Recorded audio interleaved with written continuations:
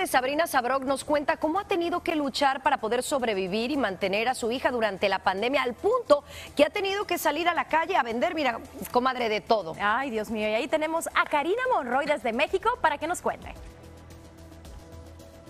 Muy buenos días, mis queridas amigas. Mi Vane, tú, yo supongo que te acostumbras a escuchar acá en México tú, Stephanie, que eres de acá también, eso de barabara, pásele, pásele, de avaro, de avaro. No sé si ustedes han escuchado que los vendedores callejeros pues hablan así. Pues así está Eric Farhat, porque a pesar de que Sabrina, bueno, pues tiene muchos shows, tiene su canal para adultos, de películas para adultos, y tiene muchísimo trabajo, pues le da muy poquito dinero mensualmente a la niña que como sabemos tiene autismo y tiene pues necesidades especiales. Pues él, sin ningún empacho, se fue a vender cubrebocas, cremas para reducir este la pancita y pues por ahí uno otro juguete sexual, ¿no? Además se le va con todo a Sabrina. Vamos a escucharla.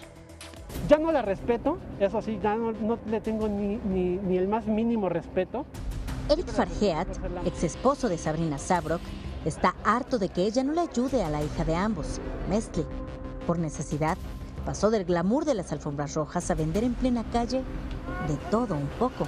Pues me la estaba llevando súper bien con la lucha libre, pero pues en marzo, todo lo que tenía ya programado de marzo para, para septiembre, se murió todo mi trabajo. Entonces empezamos a vender sex toys online.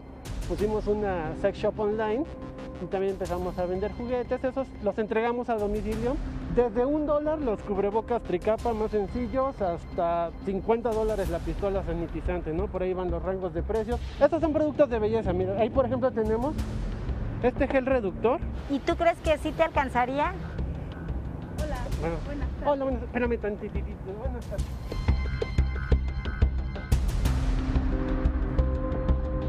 Perdón, perdón, pero es que tengo que atender. La condición de autismo de su hija de 10 años hace que las necesidades económicas aumenten. Para mí vender es algo que no tiene el mayor problema, ¿no? Entonces dije, bueno, vámonos a vender, vamos a, a mover toda esta mercancía y afortunadamente pues sí, me está yendo bien.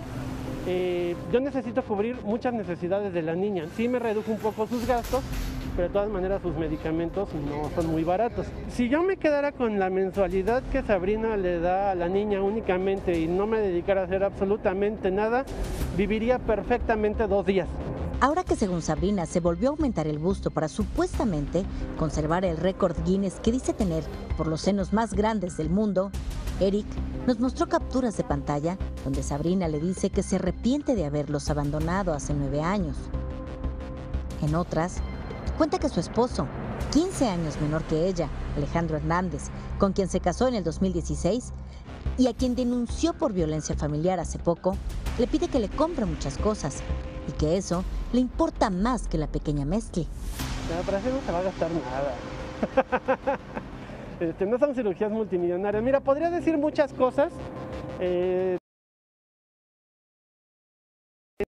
es algo que me es totalmente irrelevante, lo que ella haga de su vida, a qué se dedique, el nuevo escándalo, la nueva operación, el nuevo récord Guinness. Eh, no sé por qué se ha vuelto tan vulgar y yo no sé por qué piensa que, que con eso va a llamar la atención de la gente cuando más bien lo que hace es que la gente la rechacen. Yo creo que para ella es más importante comprar figuritas de acción y comprarle su cochecito a su nene que darle a su hija, ¿no? Porque sabe que la niña conmigo está bien.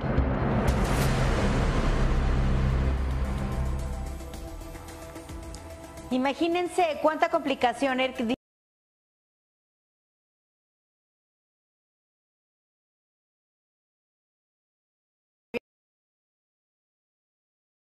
Al marido porque la golpeó, intentó estrangularla, ahora se quiere eh, más busto, no sé, me parece como una vida súper complicada, ¿no? Para, para ella. Lo cierto es que pues no le da dinero a la niña. Ay, eso está bien triste, Cari. Muchísimas gracias por ese reportaje.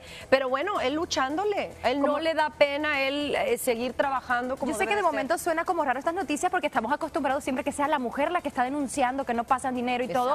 Pero también hay hombres que se hacen cargo de sus hijos como ese Eric y es de la verdad que, la verdad que sí, eh, bendiciones para ti, para tu hija Eric, y esperemos pues que Sabrina en algún momento reaccione, y apoye a su hija, una niña con, con autismo, ¿no? Sí, así es. Oiga, nosotros vamos a seguir con mucho más aquí en un nuevo día.